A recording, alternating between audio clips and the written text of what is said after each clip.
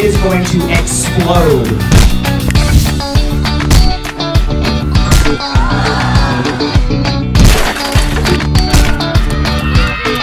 This is absolutely amazing. I'm telling you.